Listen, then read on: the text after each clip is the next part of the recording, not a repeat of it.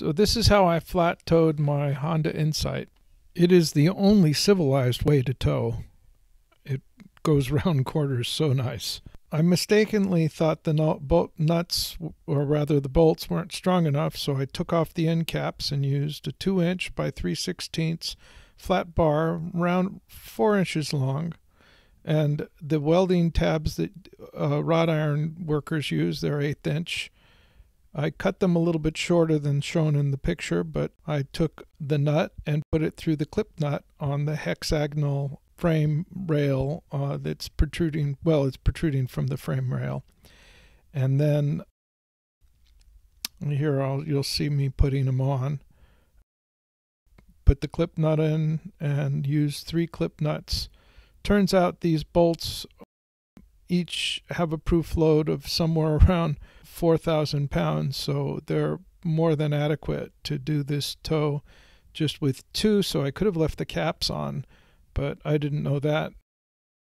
So I ended up using three bolts on each side to hold the, the bar that I was making up, and I'm making up the bar by putting tabs on and holding them in place and taking a, a flat bar, holding it with magnets, tack welding it, cooling it with water, and then I did this on both sides and put the flat bar. It, it ends up being a little bit at an angle. So when I uh, put the bar that crosses across this, I needed to fill the space, and I cut a, a, a, an angled piece, which you will see in a minute. But this, I tack welded it once it was uh, set, relatively nice, and then I unbolted it and welded it all together. And this is this is the finished product for my tow. The spacing of these is sort of at a maximum for the tow bar that uh, I bought from Harbor Freight. You need to remove the uh, windshield wiper tank to be able to get to one of the bolts to tighten uh, and loosen doing it this way. And as I say, I could have just put a piece of flat bar across the uh, bolts that pre-existed with those caps that I showed in the beginning. This is what it looks like once it's all together and here I'm just fitting the chain. I'm taking it off just to, to see if I want to remove a link or not.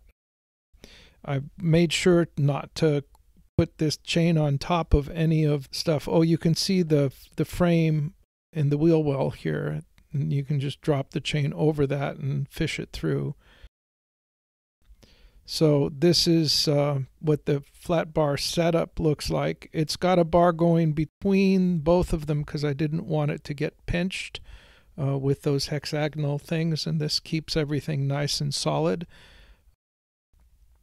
And uh, it worked really good. Uh, you have to leave the wheels.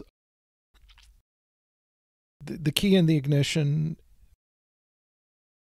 the transmission in neutral, and um, it on accessory you don't leave it in the uh, mode where it's the ignition is sort of more in the on position. You don't do that. It's just in the accessory uh, space. Uh, this shows the cross hatching of the of the chains.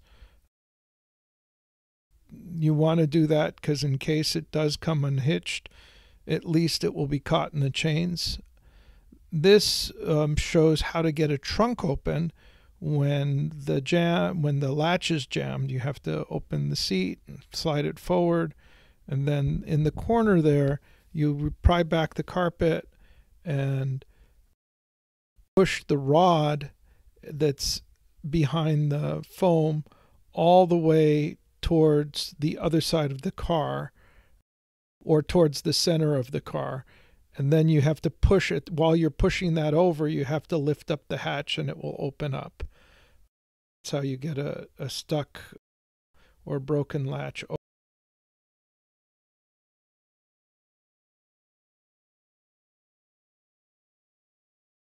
open. Then I'm showing how I put the lights for the uh, the trailer next. And here's how I put the lights. I bent a piece of 5 8 inch flat bar and I put a little cut into it so it can grip on the carpet, not slide off. And it holds really nicely. And then the magnetic light can f- stand on this 5 8 half bar, and it's plenty for the magnets. It made it all the way from Northern California to Southern California uh, through the mountains. And then I put cardboard on this, but I'm just trying it out to see if I like the shape of that. The the flat bar is bent with two pair of pliers to follow the shape of that. And this is how my car looked once I was towing. This is halfway through my trip. Again, do not uh, you bind the steering wheel. You want it loose, and you want to have the accessory of the it to accessory on the key and, and, and in neutral. That is my flat tow. I hope you liked. Bye bye.